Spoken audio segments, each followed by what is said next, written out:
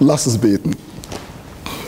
Himmlischer Vater, du bist unsere Sonne, die Leben schenkt.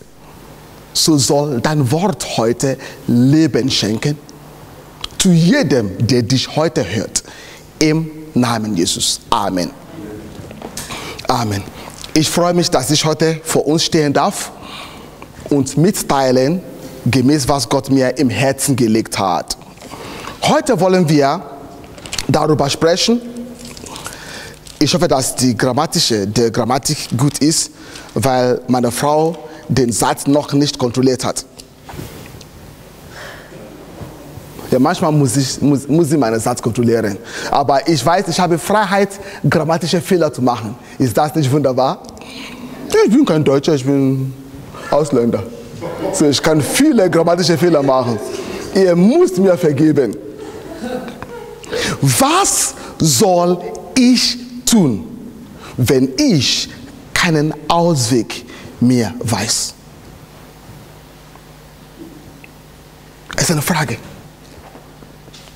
Ich bin sicher, jeder von uns musste sich schon mal in einer Situation gefunden haben, wo er keine Ahnung hat. So, was soll ich tun, wenn ich nicht weiß, was ich tun soll? Das klingt unlogisch. Wenn ich nicht weiß, was ich tun soll, was soll ich tun? Ihr merkt es bei diesem Thema, dass ich immer was tun muss. So, folge mir bitte zu einer Geschichte, 2. Chronik, Kapitel 20, Abvers 1. Wir werden aus dieser Geschichte lernen, was Gott für uns hat. Und dieses Wort ist für jeden. Egal wer du bist, egal wo du bist, egal was du machst, egal was du hast, egal was dir fehlt, du wirst dich in einer Situation befinden müssen, müssen, wo du dich fragen werden müssen, was sollst du tun oder wo du keine Ahnung mehr hast. So, sind wir da? 2. Chronik, Kapitel 20, ab Vers 1. Nun, bevor wir zu Vers 1 gehen, wenn du Zeit hast, lese Kapitel 19. Da war schon Frieden in dem Land. Alles lief wunderbar in der Nation. Josaphat fing an, Freude zu haben, fing an, Spaß in Regierung zu haben. Er hat seine Minister, Abgeordnete alle gut eingesetzt. Und Vers 1, Kapitel 20, 2. Chronik, und es geschah danach. Da kamen die Moabiter und die Ammoniter und mit ihnen andere neben den Ammonitern um Josaphat zu bekämpfen. Und man kam und meldete es Josaphat und sprach, eine große Menge rückt gegen dich heran von jederzeit des Todesmeeres aus Aram. Und siehe, sie sind bei Hateton Tama. Das, das ist Entgedi. Da fürchtete sich Josaphat und richtete sein Angesicht darauf, den Herrn zu suchen. Und er ließ in ganz Juda ein Fasten ausrufen. Und Juda kam zusammen, um vor dem Herrn Hilfe zu erbitten. Auch aus allen Städten Judas kamen sie, um den Herrn zu suchen. Ja, weißt du, damals, es war üblich, dass Königreiche einander bekriegen. Und da haben sich Ammoniter, es ist als ob Russland, China und USA und Deutschland führt einen Krieg gegen, gegen Zanzibar. Kennt ihr Zanzibar? Eine kleine Nation in Südafrika. Russland, kennt ihr Russland? USA, China Deutschland. Wissen wir, dass Deutschland eine starke Armee hat. Und diese Länder und andere Länder, vielleicht Frankreich und Großbritannien, und sie führen einen Krieg gegen den König in Zanzibar. So war die Situation von Josaphat. Es gab keinen Weg für ihn. Äh, Josaphat hatte keine Ahnung. Und da kam Furcht zu ihm. Aber Josaphat hat etwas getan. Und das wollen wir heute lernen. Wenn die Zeit uns erlaubt, wir werden ein paar Beispiele noch sehen von Habakkuk und Paulus und Silas. Aber Josaphat hat es für wichtig gefunden, sich zu Gott zu wenden oder an Gott zu wenden. Und er rief einen Fasten aus. Und lass uns fragen, warum hat er das gemacht? Vielleicht Josaphat war geisterfüllt. Vielleicht er war kirchenabhängig. Äh, Vielleicht hat er kein Essen mehr und er musste durch diesen Weg Fasten rufen, damit sie das Geld, das sie haben, sparen, um Waffen zu kaufen. So, wir werden Josaphat Herz erkennen dadurch, was er gesagt hat. Vers 5. Und Josaphat trat unter der Gemeinde von Juda und Jerusalem im Haus des Herrn vor dem neuen Vorhof. Und er sprach, O Herr, du Gott unserer Väter, bist du nicht Gott im Himmel und Herrscher über alle Königreiche der Heiden? In deiner Hand ist Kraft und Macht. Und niemand kann vor dir bestehen. Lass uns mal starten. Josaphat weiß etwas, dass Kraft und Macht in den Händen Gottes ist. Und niemand kann vor Gott bestehen. Weil sein Wissen, was er weiß, ist sehr wichtig in den Entscheidungen, die er getroffen hat. Was du weißt, wird deine Entscheidung beeinflussen. Sind wir noch da? Darum ist Nichtwissen eine Dummheit. Man sagt manchmal, Wissen ist Macht. Gibt es so einen Satz? Zu wissen ist Macht. Nicht zu wissen ist Dummheit. Äh, Dummheit ist, klingt, klingt schimpf, schimpfmäßig. Nicht zu wissen ist Katastrophe. Nicht, nicht zu wissen ist gefährlich. Darum sind wir alle in die Schule geschickt worden, oder? Man hat uns in die Schule geschickt, nicht damit Papa und Mama allein Zeit für sich haben, damit wir ABCD lernen. Und wenn man mir Geld gebe, ich kann Geld zählen. Dann gehen wir weiter. Vers, Vers 7. Hast du nicht, unser Gott, die Einwohner dieses Landes vor deinem Volk Israel vertrieben und hast, und hast es dem Samen Abrahams, deines Freundes, gegeben auf ewig, ewige Zeiten? Sie haben sich darin niedergelassen, dir darin ein Heiligtum für deinen Namen gebaut und gesagt, wenn Unglück über uns kommt, Schwert des Gerichts oder Pest oder Hungersnot und wir vor diesem dieses Haus und vor dich hintreten, denn dein Name wohnt ja in diesem Haus und wir in unserer Not zu dir schreien, so würdest du hören und helfen. Lass uns sehen verschiedene Arten von Problemen. Schwert des Gerichts. Wissen Sie, was das bedeutet? Das heißt, ich habe dieses Problem verdient. Sind wir noch da? Es gibt verschiedene Probleme. Manche Probleme haben wir selber verursacht. Wir haben Dummheit gemacht. Wir haben Schlechtes, Böse ausgeübt. Und jetzt leben wir in der Konsequenz unseres Problems. Die zweite Gruppe von Problemen, Pest oder Hungersnot. Das ist Krankheit. Dinge, die du nicht kontrollieren kannst. Dinge, die auf dich aus Natur kommt, wenn man so sagen darf. Natürliche Katastrophe. Katastrophe. Denn welche andere Gruppe? Und wenn diese passiert, die Bibel sagt, die, das Volk Israel soll zu Gott kommen. Ich will, dass du dir Zeit nimmst heute, falls du Probleme hast, weil manche Leute haben kein Problem. Nicht jeder ist wie Pascal, der Problem immer hat. Was für ein Problem hast du? Aber ich will dir etwas sagen. Egal wie das Problem heißt, es heißt Problem. Du musst dich nicht umbringen, wenn du, wenn du die Ursache bist. Wer weiß, dass Gott vergibt? Das heißt, du wirst nicht nur Gottes Vergebung empfangen müssen, du wirst auch lernen müssen, dir selber zu vergeben. Dein Pastor hat manchmal Schwierigkeiten, dir zu vergeben. Lass das dich nicht stören. Das ist ein Problem zwischen ihm und Gott. Du empfange Gottes Vergebung und vergebe dir. Dann bist du frei. Wir lesen weiter. Wo sind wir? Vers, welcher Vers sind wir? Vers 10. Und siehe nun, die Ammoniter und Moabiter und die vom Bergland Seher durch deren Land zu ziehen, du, zu ziehen, du Israel nicht erlaubt hast, als sie aus dem Land Ägypten zogen, sondern von denen sie sich fernhielten und die sich nicht vergelten durften.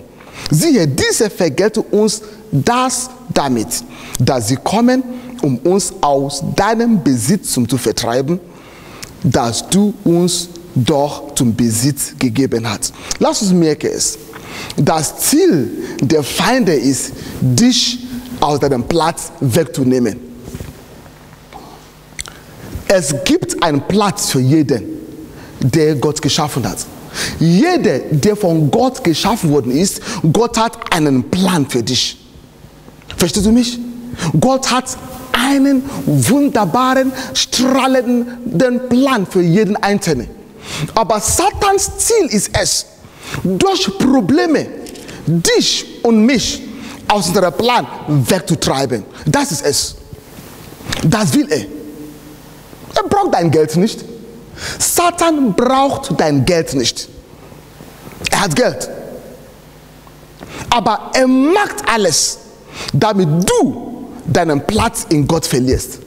Weil solange du noch in Gottes Plan bist, deine Zukunft ist gesichert. Egal was bei dir passiert ist.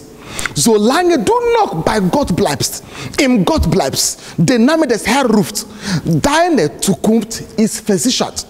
Aber Satan wird alles machen, egal wie Druck auf dich setzt, Manipulation, damit du vom Plan Gottes gehst. Und das ist genau, was sie machen wollen.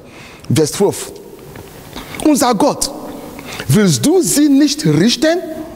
Denn in uns ist keine Kraft gegen diesen großen Haufen, der gegen uns herangerückt ist. Und wir wissen nicht, was wir tun sollen sondern auf dich sind unsere Augen gerichtet. Josaphat sagte, hör mal zu, wenn Angela Merkel, unsere Bundeskanzlerin, eine wunderbare Schwester, eine gesegnete Schwester, die ich so sehr liebe, wenn sie heute für die Nation stehe, 20 Uhr, ARD, ZDF, alles. Und sagt, liebe Mitbürgerinnen und Bürger, so steht sie immer. Die Lage der Nation ist schwer. Wir wissen nicht, was wir tun sollen. Ich denke, ich werde meine Sachen packen und verschwinden. Der König sagte, wir wissen nicht, was wir tun sollen. Nur unsere Augen auf dich gerichtet. Aber sie haben etwas gemacht. Verstehst du mich? Was soll ich tun, wenn ich keinen Ausweg mehr weiß oder kenne? Josaphat hat etwas getan. Er hat auf Gott geschaut. Egal was bei dir passiert, schaue auf Gott, nicht auf deinen Pastor. Weil du weißt nicht, wie viele Probleme er selber hat.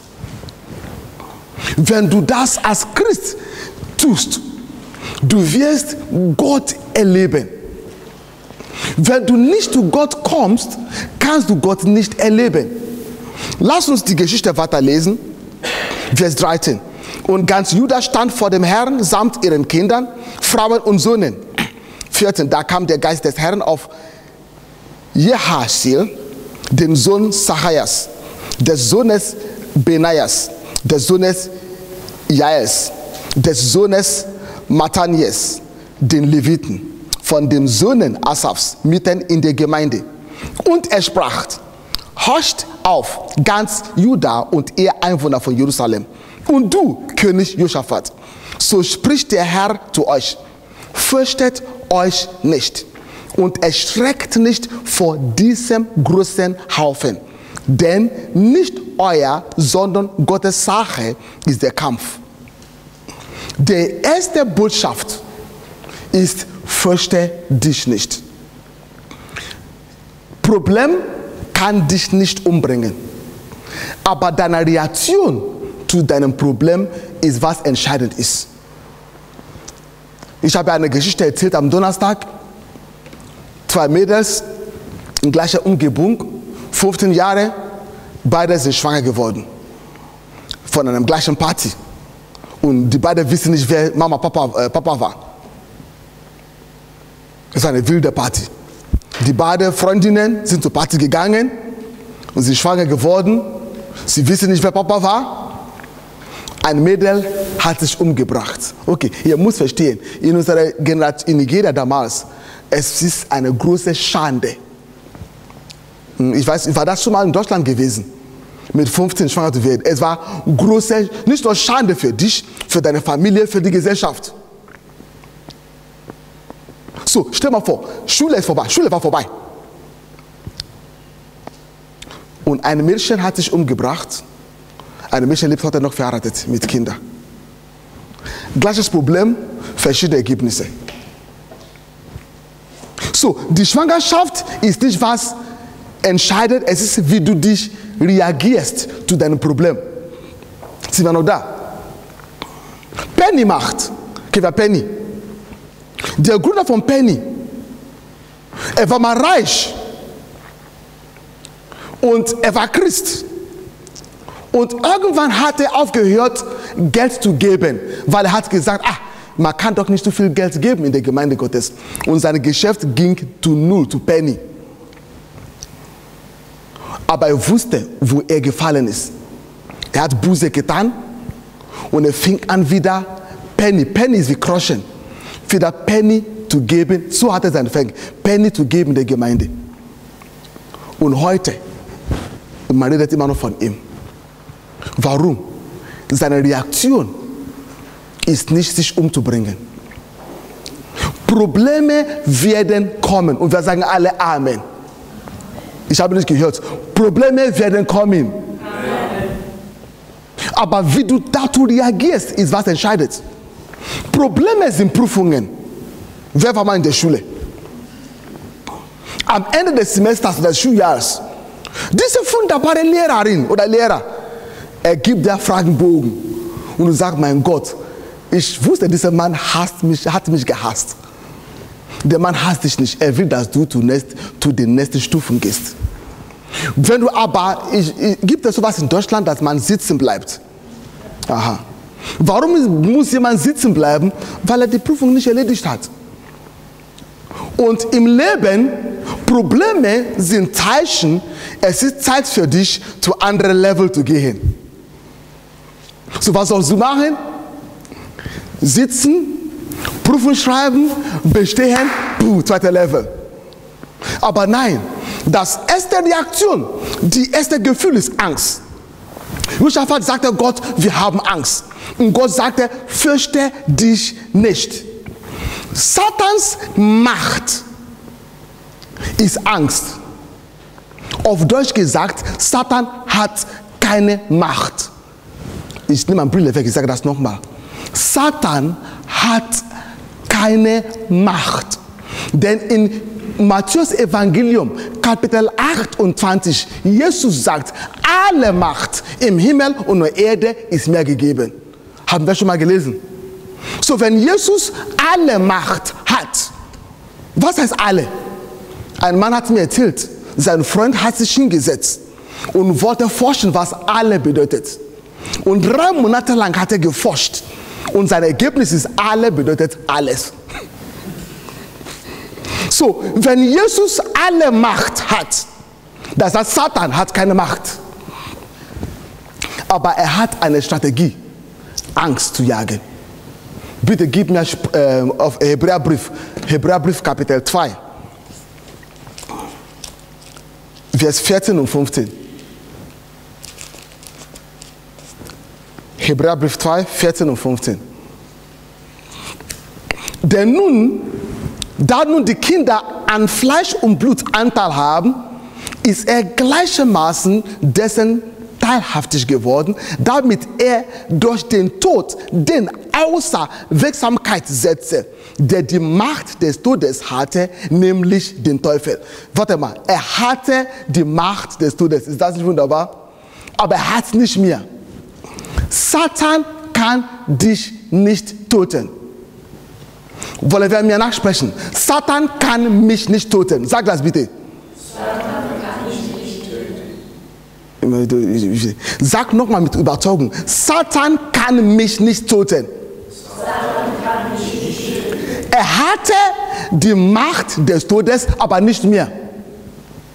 Er ist außer Wirksamkeit gesetzt worden. Wenn etwas außer Wirksamkeit gesetzt worden ist, was bedeutet das? Geht nicht mehr, funktioniert nicht mehr. Null. Leere Palette, leere Schlauch. Vers 15. Und alle diejenigen befreite, die durch Todesfurcht ihr ganzes Leben hindurch in Knechtschaft gehalten wurde. Das ist Satans Strategie. Angst. Angst. Und Leute reagieren aus Angst. Und warum haben sie Angst? Sie denken an was geschehen wird sie, sie, sie, sie, sie sehen das Problem und sie erkennen, das Problem ist zu groß für mich. Und sie stellen sich vor, was das Problem mich antun wird. Und dann kommt Angst auf uns. Josaphat überlegte, diese Soldaten kommen in die Stadt, plündern uns, vergewaltigen unsere Frauen und Mama. Da hat er Angst, da zittert er. Und Gott sagte, Josaphat, warte mal, fürchte dich nicht. Habe keine Angst. Diese Leute können dich nicht umbringen. Kein Problem kann dich sterben, wenn du aufrecht stehen kannst und sage, ich fürchte mich nicht. Jesus sagte, äh, Jarius, Papa, Jaros, fürchte dich nicht, glaube nur. So, erlaube keinen Furcht in deinem Leben. Warum? Weil Satan dich nicht umbringen kann. Nun, ja, hier hat Gott etwas gesagt. Und ich muss zugeben, es ist genau übereinstimmig, was ich mal sage. Was sagt Gott, Vers 16? 2. Chronik, Kapitel 20, Vers 16. Gott sagt, morgen sollt ihr gegen sie hinabziehen. Siehe, sie kommen auf der Abhöhe Sitz herauf und ihr werdet sie am Ende des Tages eintreffen, wo der Wüste, äh, vor der Wüste Jeruel. Aber nicht, aber es ist nicht an euch dort zu kämpfen. Tretet nur hin und bleibt stehen und seht die Rettung des Herrn, der mit euch ist. O Juda und Jerusalem, fürchtet euch nicht und versagt nicht. Zieht morgen aus gegen sie und der Herr ist mit euch. Es klingt so aus, wie wenn der Pastor Pascal sagt, ich umarme Probleme. Du, wir kommen zu Gott. Gott, der Armee ist groß. Er rettet uns, hilft uns. Wir wissen nicht, was wir machen können. Und Gott sagt, ja, ihr zieht Richtung dieser Armee. Das klingt wie Selbstmord. Verstehst du nicht? Ich hätte Gott erwartet, dass Gott kommt in seine Herrlichkeit und eine Mauer herum Jerusalem baut. Ganz groß bis zum Himmel. Aber Gott sagt, fürchte dich nicht, renne nicht weg vom Probleme. Geh zu deinem Probleme. Vera. Eigentlich, ich, dieser Vers, ich habe es mehrmals gelesen, aber es ist mir gestern nochmal klar geworden. Oh, das sage ich immer. Gott sagt, Problem ist da, er weiß das. Aber du gehst, fürchte dich nicht, umarme deine Probleme und lass Gott was machen. Die Dinge, wovon du wegrennst, kannst du nicht besiegen. Ich wiederhole, die Dinge, wovon du wegrennst, kannst du nie besiegen. Die Dinge, worüber du nicht reden willst, kannst du nicht erledigen. Nicht ist zu groß, dass man, dass man darüber redet. Und kein Problem ist zu mächtig, dass man nicht konfrontieren kann. Warum? Weil ich mich nicht fürchte. Und Gott kämpft für mich. So Gott sagte denen, ich weiß, die Armee ist groß. Ich weiß, ihr könnt, ihr habt keine Kraft, aber hört auf mir, habe keine Angst, geh Richtung dieser Leute und begegne sie. Aber er soll nicht kämpfen. Wo waren wir gerade? Nächster Vers. Vers 18. Da beugte sich Josaphat mit seinem Angesicht zur Erde und ganz Juda und die Einwohner von Jerusalem fielen vor dem Herrn nieder und betete den Herrn an. Und die Leviten von den Söhnen der Kahatita und von den Söhnen der Korahita machten sich auf, um den Herrn, den Gott Israels, zu loben und mit lauten stahlender Stimme. Lass uns Vers 20 lesen. Es ist viele Bibelstelle. Vers 20. Was hat, was hat Josaphat gemacht? Sie haben getan, was Gott getan, gesagt hat. Aber sie haben etwas gemacht. Also mein Verständnis war, Josaphat soll gehen und so stehen und nicht machen. Oder? Aber Vers 20 sagte, lass uns ab Vers 20 lesen. Und sie machten sich am Morgen früh auf und zogen zur Wüste Tekau. Und als sie ausgezogen, trat Josaphat hin und sprach, hört, hört mir zu, Juda und ihr Einwohner von Jerusalem. Vertraut auf den Herrn, euren Gott. So könnt ihr getrost sein und glaubt seinen Propheten. So werdet ihr gelingen haben. Und er beriet sich mit dem Volk und stellte die, welche in heiligem Schmuck dem Herrn singen und ihn preisen sollten, im Vorzug vor der gerüsteten Krieger hin. Und um zu singen, dankt dem Herrn, denn seine Gnade wird ewiglich. 22. Und als sie anfingen mit Jauchzen und Loben, ließ der Herr einen Hinterhalt kommen über die Ammoniter, Moabiter und die von Bexia, die gegen Juda gekommen waren, und sie wurden geschlagen. Das klingt wie ein Sieg. Was soll ich machen, wenn ich nicht weiß, was ich machen soll? Nummer eins, was weißt du? Gott ist groß. Gott ist mächtig. Und auch weiß das, Gott liebt mich. Bitte, das musst du wissen. Bitte, Max. Gott liebt dich. Du musst das wissen. Und was du getan hast, was du nicht getan hast, kann seine Liebe nicht reduzieren. Er ist Liebe. Er kann dich nicht unlieben. So, Nummer eins, Gott liebt mich. Das war Dummheit von mir. Ich habe alles vermasselt. Ich habe Dummheit gehandelt. Und ich habe, das war dumm, das ist schlecht von mir. Aber ich will, dass du weißt, ja, das war Dummheit. Gott liebt dich immer noch. Oh, diese Krankheit. Oder man hat dich verletzt. Man hat dich missbraucht. Man hat etwas gegen dich gemacht. Dein Pastor, dein Papa, dein Ehemann, deine Stadt. Egal wer ein Problem auf dich geschmissen hat und dieses Problem versucht, deine Seele zu frissen. Bitte, bitte weiß diese Wahrheit. Gott liebt dich. Und Nummer zwei, er hat alle Macht. Hör mal er liebt dich und er hat alle Macht. Das heißt, ich werde Erwartung haben, dass er mir hilft, oder?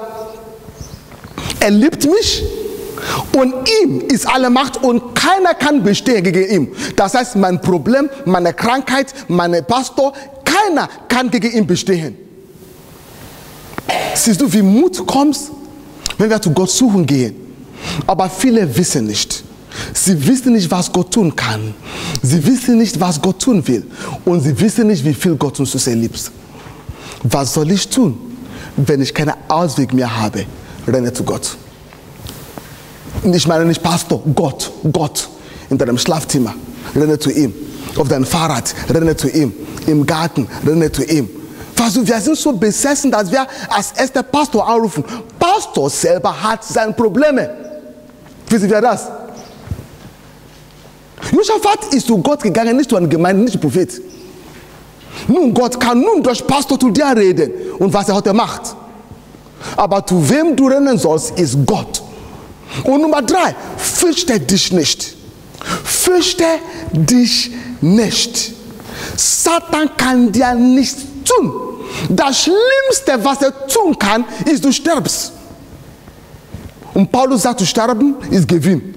Was meinst du? Bei Gott im Himmel, es ist Milliardenmal besser als hier. Wer weiß das? Bei Gott im Himmel, Milliard, so Milliardenmal ist zu wenig. Unzählbare Mal besser als hier. So, ich lebe, ich bin gefährlich für Satan. Ich gehe im Himmel, mir geht es besser. Wenn du das nicht weißt, hast du Angst zu sterben. Und weil du Angst hast, weil du nicht sterben willst, versuchst du mit eigener Kraft einen äh, äh, Kompromiss mit Satan abzuschließen. Und Satans Kompromisse sind nicht gut. So, fürchte dich nicht. Das Schlimmste, was passieren kann, ist, du stirbst. Nicht schlimmer als sterben. Und wenn du stirbst in Jesus Christus, bist du im Himmel bei Papa. Ich kann das nicht von der Stress wegnehmen. Ich habe Satan gesagt, das Schlimmste, was du mir antun kannst, ist, du bringst, ich sterbe. Und wenn ich sterbe, ich bin, im Himmel. Deine Familie, das ist für Gott kein Problem. Das ist für Gott kein Problem. Aber das Problem ist, ich habe noch viele Aufgaben zu tun. Er kann mich nicht töten. Er muss erstmal Gott töten, bevor er mich tötet. Denn ich bin verborgen in Gott. Verstehst du mich? Ich bin in Gott. Ich habe in meinem Telefon eine SIM-Karte. Kennt ihr das? Um diese SIM-Karte zu nehmen, muss ich das Telefon aufmachen. So, um Pascal zu töten, muss Satan zuerst Gott töten. Und sag mir, kann er Gott töten? So, da er Gott nicht töten kann, Pascal ist untötbar. ist, eine, ist eine Einstellung. So, wenn du diese Einstellung hast, wirst du keine Angst haben können, weil du weißt, Gott liebt dich. Darum rennst du wieder zu ihm.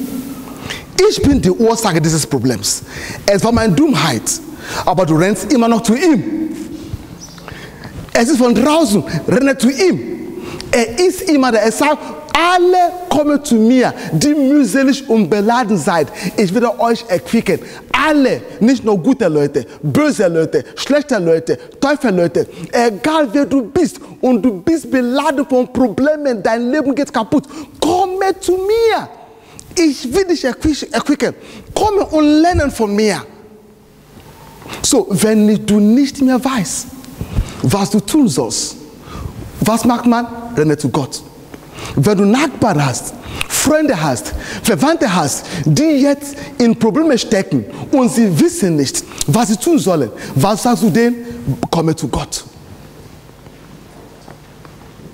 Halleluja. Und wenn du zu Gott kommst, Gott wird dir sagen, was du tun sollst. Es ist, ich bitte immer noch für den Tag, wo ich Predigt halten werde, wo ich sage, du musst nichts tun. Ihr, ihr merkt es bei mir, es, es gibt immer was zu tun. Dieses Buch hier, um das, damit das Buch hier oben bleibt, ich muss das Buch hier oben halten, habe ich recht. Wenn ich meine Hand, wenn ja Boden wäre, wenn ich meine Hand von dem Buch wegnehme, was passiert? Fällt auf den Boden. Du kannst nicht nichts tun. Du kannst nicht nichts tun. Sogar nichts tun ist was tun. Ich werde, ich werde mich nur hinlegen. Das ist doch eine Arbeit. Hinzulegen. So, was soll ich tun? Ist meine Frage zu Gott. Was soll ich tun? Und Gott wird zu dir reden. Und wenn Gott zu dir redet, der hast du Freude. Gott sagte Josaphat, steh still. Aber Josaphat hat gesungen. Ist das ungehorsam? Nein. Wenn du Gottes Zusage bekommen hast, du wirst dich freuen können. So, du siehst Leute, die Probleme haben und sie loben Gott. Du, du siehst Leute, die in Schwierigkeiten stecken und sie preisen Gott. Warum? Sie wissen, was Gott gesagt hat. Gott hat gesprochen. Was Gott zu dir sagt, ist Kraft. So darum, du musst, oh, ich habe das, das Wort muss benutzen. Darum werde ich dich ermutigen, dass du zu Gott gehst und feier Gemeinschaft mit Gott und lass Gott zu dir reden über dein Problem. Du wirst sehen, dass du wieder Freude hast. Ich will nur zwei Beispiele nehmen. Gib mir Habakkuk bitte, Kapitel 3. Nee, sorry. Geh mal, geh mal äh, eh, Apostelgeschichte 16. Apostelgeschichte 16. Sorry. Apostelgeschichte, Kapitel 16.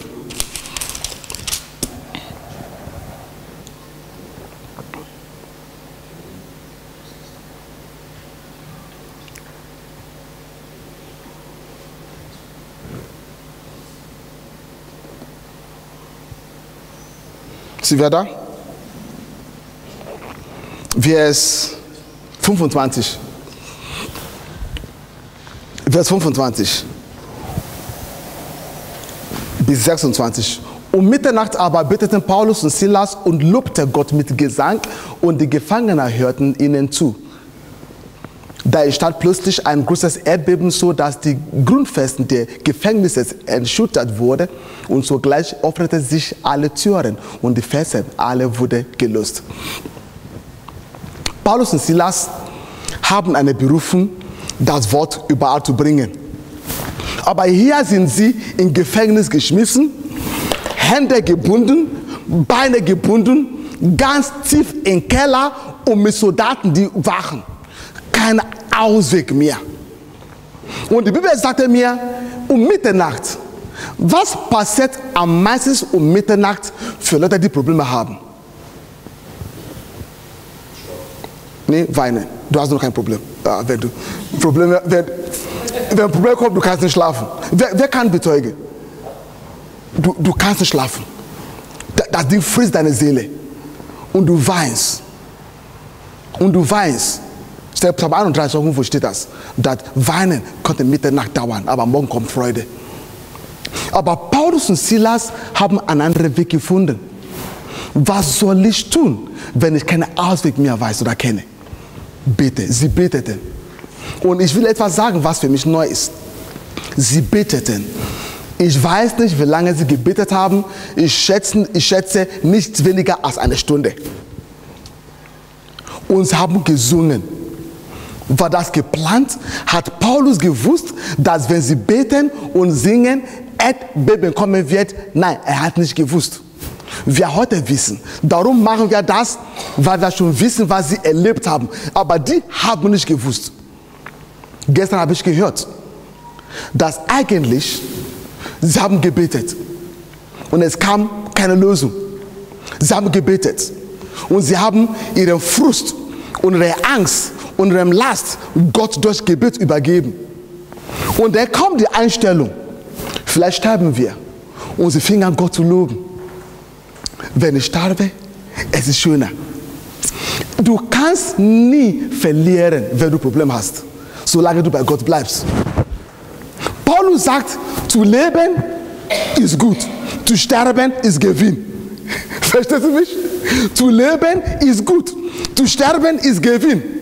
So, es war Paulus, egal wo er war, er war ihm egal. Solange er bei Gott ist, er gewinnt immer. Kein Wunder, die Bibel sagt im Kolosserbrief, wir triumphieren immer im Christus. Immer. So, Paulus war bereit auch, wenn ich nicht rausgehe, ich habe Freude. Und weil Gott Leute liebt, die Freude haben, Gott kann Freude nicht ablehnen. Und Gott sah die Freude. Und Gott kam, zu, zu, zu, sich mit denen zu vereinbaren. Jetzt kommt wieder zu mir. Danke, Jesus. Danke, Jesus. Warum hat Josaphat gesungen, obwohl er still sein soll? Ich habe gerade bekommen, gerade jetzt. Wenn du Probleme hast, du kannst nicht schweigen. Entweder du beschwerst dich oder du lobst Gott. Wenn du Probleme hast, du musst was sagen. Entweder du sagst die STH-Wort oder Halleluja. Kennt ihr die STH-Wort? So, damit du STH-Wort nicht sagst, weil wenn du STH rausbringst, dein Leben wird auch SCH sein. Kennt ihr, was SCH bedeutet? So, dann soll lieber Gott loben. Wenn du nicht danke, wirst du schimpfen. So, was soll deine Reaktion sein, wenn ein Problem kommt? Lobet Gott. Danket Gott. So, Josaphat hat sich überlegt, wenn wir stillstehen, bestimmt einige Leute beschweren sich schon, weil, und er sagt, okay, lass uns anfangen zu singen. da haben wir keine Zeit, uns zu beschweren. fange an zu singen, damit du keine Zeit hast, dich zu beschweren. Ich erzähle diese Geschichte, es ist eine lustige Geschichte mit meinem Bruder. Ich habe einen wunderbaren Bruder, zwei Jahre älter. Wir haben gemeinsam viele Sachen gemeinsam gemacht und ich weiß nicht, ich denke, das ist nicht in Deutschland üblich. Es war bei uns damals üblich, immer Bäume zu klettern. Wir, wir haben Spaß, Bäume zu klettern. Jeder Baum will ich, wollen wir klettern. Und an diesem Tag waren wir beim Baum klettern und leider ich bin gefallen. Ich habe falsche, trockene Zeug erhalten. Buh, auf dem Boden. Und mein Bruder sagte mir sofort, fang an zu tanzen, fang an zu tanzen. Ich habe sowas noch nie gehört. Jemand, der gefallen ist, der Schmerzen hatte und tanzt. Das war die Geschichte. Und während ich getanzt habe, habe ich keine Zeit für meine Schmerzen gehabt. Aber da dem Tanzen, Schmerzen war da. Ich liebe meinen Bruder. Wenn du schweigst, du wirst schimpfen. Aber wenn du Gott lobst, du wirst nicht schimpfen. Und alle, die geschimpft haben, Kapitel 3, Kapitel 4, äh, Hebräerbrief, sie sind vernichtet worden.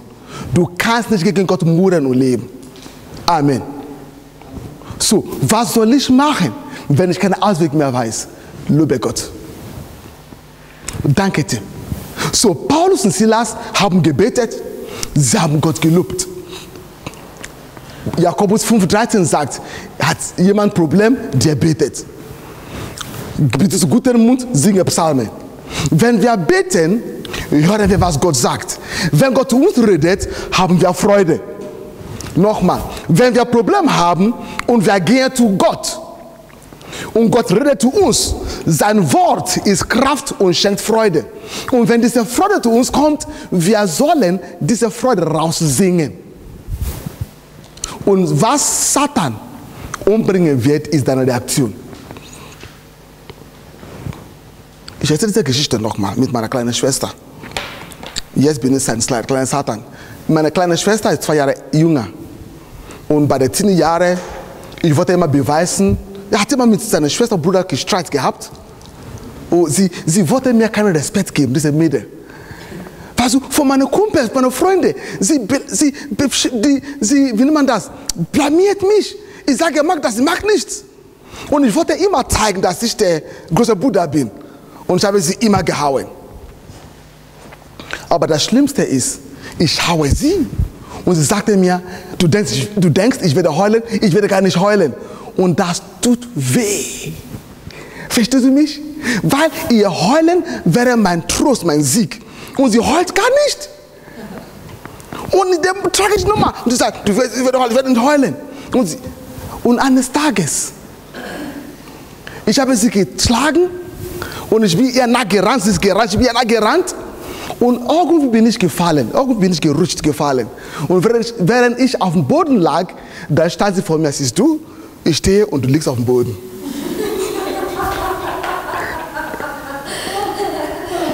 Satan wird sich umbringen. Wenn Probleme kommen, lobet Gott. Da, da geht er verrückt. Verstehst du mich? Was ist passiert?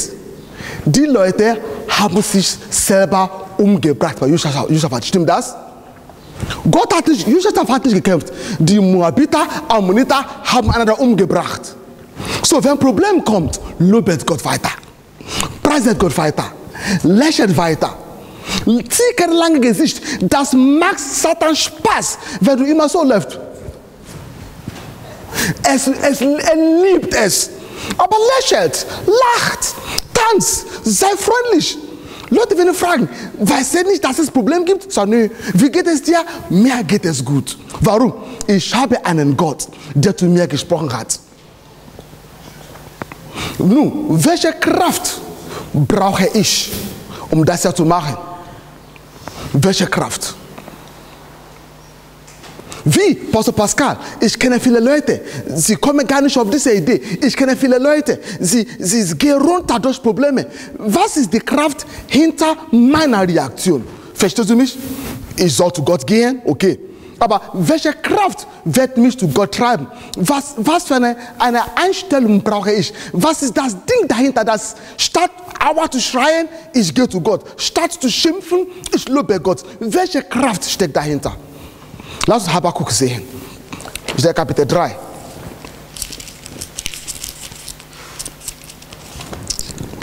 Habakkuk. Wo ist Habakkuk? Im Neuen Testament oder Alt? Also ich muss suchen. Nicht, dass es im Neuen Testament ist. Kapitel 3, Vers 17. Habakkuk war ein Ackermann.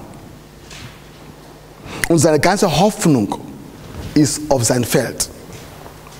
Und jetzt kommt Erntezeit und er sagt, denn der Feigebaum wird nichts ausschlagen und der Weinstock keinen Ertrag geben und die Frucht des Ölbaums wird trugen und die Felder werden keine Nahrung liefern und die Schafe werden aus dem Hürden getilgt und kein Rind wird immer, wird mehr in den Ställen sein, stoppen. Dieser Mann kann einfach kundigen. Es gibt keine Hoffnung mehr. Versteht man denn? Es gibt nichts. Keine Frucht, keine Ente, Boden, keine Nahrung, Schafe, Rinde, alle tot. Der, und, und, es gab kein Hartz IV. Er kann keinen keine, keine Kredit bekommen. Aber Habakkuk hat etwas erkannt. Weiter, Vers 18. Ich aber will mich freuen in dem Herrn und frohlocken über den Gott meines Heils. Wenn er sagt, ich aber, das heißt, andere Leute haben andere Entscheidungen getroffen. Ich aber. In der Nation gab es keinen Ertrag. Und der äh, Bauer Henrich hat eine andere Entscheidung getroffen. Bauer äh, Schmidt hat eine andere Entscheidung getroffen. Aber der Bauer Habakkuk sagt, ich aber. Du musst nicht reagieren, wie die anderen reagieren. Ich aber werde mich in dem Herrn frohlocken über den Gott meines Heils. Was sagt ihr? Ich habe alles verloren, aber ich bin immer noch Kind Gottes. Auch wenn ich aus Hunger sterbe, ich gehe im Himmel. Das ist die Kraft hinter alles, ein Christ zu sein. Wenn du kein Christ bist, tut mir leid. Wenn du Jesus nicht hast, tut mir leid. Ich, alles, was ich heute mache, ist Motivationstalk für dich. Und Motivationstalk kann nicht gegen Satan widerstehen. Hm? Kennt ihr Motivationstalk? Ja, heute macht man viel Geld damit. Motivationstalk ist nur Talk. Wenn der Satan kommt mit seiner Lüge, Motivationstalk hat ein Ende. Aber wenn ich ein Gotteskind bin und ich habe Errettung bekommen durch Jesus Christus, dann habe ich ein Fundament, worauf ich stehe, zu Gott zu gehen, nach Gott zu trachten, Gott zu suchen, zu glauben, zu singen, zu jauchzen. Darum werden wir heute, gemäß Gottes Gnade, uns entscheiden, wofür wir Gott danken wollen. Ich weiß, wir alle haben Probleme, ich denke. Aber ich will, dass du dir was sagst. Gibt es etwas in meinem Leben, wofür ich Gott danken kann. Hat jemand heute ein Zeugnis? Ich habe heute eine, eine frische Zeugnis. Frische Zeugnis. Ich saß in der Straßenbahn und ich habe mein iPhone 7 auf meinen Schoß gelegt. Ich wollte etwas in der Tasche machen. Und dann kam ein Gedanke zu mir. Nimm dieses iPhone weg von deinem Schoß. Es konnte runterfallen. Und wenn ich das gesagt habe, ich weiß nicht, was Schreck gebracht hat. Und mein iPhone ist weggeflogen. Und in mir ich dachte, es ist vorbei. Weil hat ein Metall getroffen. Aber Gott in seiner Gnade, er weiß, ich brauche Geld. Das ist nur ganz, das ist Zeugnis. So, falls ich nicht habe zu erzählen, mein iPhone ist noch da. Ich kann meine Frau anrufen und mit ihr quatschen. Ich habe das erzählt. Jeder hat etwas, wofür er Gott danken kann. Glaub mir. Schaue nicht an deine Probleme. Schaue an Gott. Besonders schaue daran, du bist Christ. Bitte, was kann noch schlimmer sein als sterben wäre? Und dann bist du Papa im Himmel. Wunderbar, in der Herrlichkeit. Ein Pastor hat mir erzählt, er hat, Gott hat ihn benutzt, Leute von den Toten aufzuerwecken. Kennt man sowas? Und alle, die Gott von den Toten auferweckt hat, haben seine Gemeinde immer verlassen. Sie sind sauer auf ihn. Warum? Drüben ist besser. Und du hast uns zurückgeholt. Verstehst du mich? Drüben, kein Mensch wird im Himmel kommen und auf diese Erde zurückkommen wollen. Es ist unmöglich. So, was, wovon hast du Angst? Aber freu dich, du bist ein Christ. Aber wenn du kein Christ bist, dann hast du ein Problem. Du bist Satans Schweißtuch, kennt der Schweißtuch? Er wird dich benutzen, seinen Schweiß zu schnitzen, er wird dich benutzen, seine Nase zu putzen, er wird dich benutzen, seine Fuß sauber. Du bist Satans Spielzeug, wenn du Jesus nicht hast. Aber du kannst ein besonderes Kind Gottes sein heute, wenn du Jesus in deinem Leben aufnimmst. Heute werden wir Zeit nehmen, Gott zu danken. Darum haben wir seine Kollekte bis jetzt gesperrt, damit wir mit unserer Kollekte, wenn du Kollekte hast, wenn du vorhat, hast, etwas zu geben, danket ihm für etwas. Hat jemand hier einen Grund, wofür er Gott danken kann? Lass mich deine Hand sehen. Sonst beten wir für dich.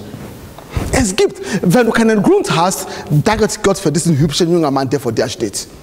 Das ist ein Grund genug, ihm zu danken. Psalm 100, sorry, Psalm 116, gib mir Psalm 116, Vers 17. Psalm 116, Vers 17. Dir will ich Dankopfer darbringen und deinen Namen und den Namen des Herrn anrufen. Ich habe bei mir geschrieben, Danksagungsopfer für den Monat Mai. Ich darf mehr Mai erleben. Wann war es dieser Bombeanschlag in Ägypten bei den koptischen Christen? War das vorgestern oder vor drei Tagen? Sie haben mein Ende nicht erlebt. Ich bin nicht heiliger als diese Leute. Oder bei diesem Manchester Bombenanschlag. Sie haben Ende Mai nicht erlebt. Und ich bin nicht heiliger als diese Leute. Und ich stehe heute hier, 28. Mai, und ich sage Gott, ich danke dir. Ja, mein Konto ist noch nicht in Überfluss, was ich mir wünsche. Ja, das und das und das ist noch nicht passiert, aber ich erlebe, ich lebe. Ich habe eine Familie. Verstehst du mich? Wenn du so ein dankbares Herz hast, dann wirst du bestehen können, wenn Schwierigkeiten kommen. Heute wollen wir gemeinsam beten. Und dann werden wir mit Danksagung unsere Kollekte geben. Danke Gott für etwas. Bitte, gebe nicht einfach weg. Danke ihm. Diese 10 Cent, Vater, ist meine Danksagungsopfer, weil ich morgen zur Arbeit gehe oder weil ich heute hier bin. Danke ihm für etwas. Und du wirst überrascht sein. Du wirst nie Mangel haben an Gründe, wofür du Gott danken kannst. Lass uns beten. Vater, wir danken dir wir preisen dich. Wir loben dich.